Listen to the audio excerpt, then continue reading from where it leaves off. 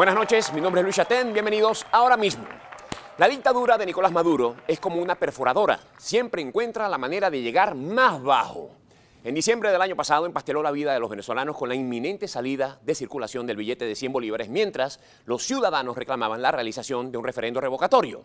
A la fecha de hoy, el billete de 100 no ha salido y Nicolás tampoco.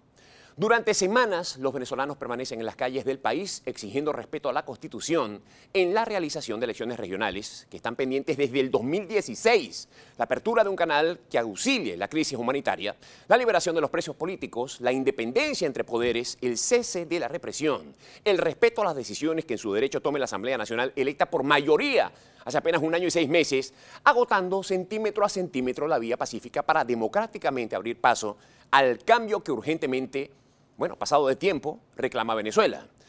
¿Cuál es la respuesta del neodictador? Convoco al poder constituyente originario para que la clase obrera y el pueblo en un proceso popular constituyente convoque una Asamblea Nacional Constituyente. Asamblea Nacional Constituyente. Ok, papá.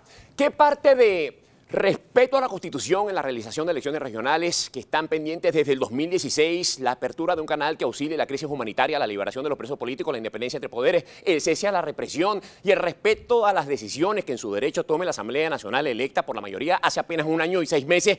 ¿No entendiste? La capacidad de la neodictadura impuesta en Venezuela para empastelarlo todo y ganar tiempo es solo comparable a la capacidad que tengamos los venezolanos de aceptarlo. 18 meses atrás, antes de conocerse los resultados de las elecciones parlamentarias, Diosdado Cabello declaraba lo siguiente.